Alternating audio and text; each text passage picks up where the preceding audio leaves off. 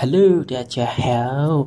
哦，我相信很多人都不会画眼睛哦，可爱的眼这个样子就是现在你们画的。哇，嗯，说好还是不好呢？来，让老师来教你们怎么去画一个更好看的眼睛。所以，首先先打个稿，你可以看到我画了三个圆圈，然后把中间填黑，那个是我们的眼孔，然后上面我会加一些影子。然后把交叉擦去，呃，那些不需要的地方。然后我们就看还有什么首尾需要搞。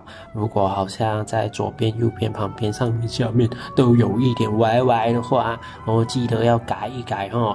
所以现在老师就把最深的用更深的 A B pencil，或者你们有的呃四 B、三 B、五 B 都可以啊。我们就把它选一下在中间，然后你可以看到我会稍微做深到浅的动作。这个 shading 呢是非常重要的，所以现在我。做一个深到浅，所以看一下上面我们要多一个 medium tone，然后下面会有一个很浅的 toning，所以你可以看到我下面浅的 tone 呢是一个有弧度的，非常有弧度的。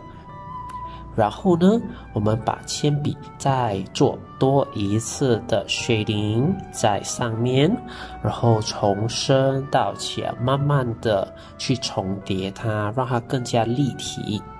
所以我们的眼睛呢，最重要是要立体，深中浅需要很多个步程才做得好。OK，来，我们差不多好咯。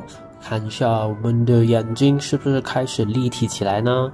然后你看一下我的白色的光影的下面会有一些少许的 shadow，老师有加一点深浅在旁边，让那个亮度更加提高起来。然后呢，眉毛的部分我们就大约画了一个简单的形状就可以了。然后我们的眼睛就是这么漂亮啦！耶耶耶，OK。So，现在老师都是在呃 touch up touch up，把一个深的地方都加深了一点点，签个名。So，这个就是我们的 before 跟 after 咯。好，有什么？如果你们想要报名我的班，然后记得可以去 Facebook 我，还有 subscribe，按下你的小铃铛，还有 like and share，谢谢你们。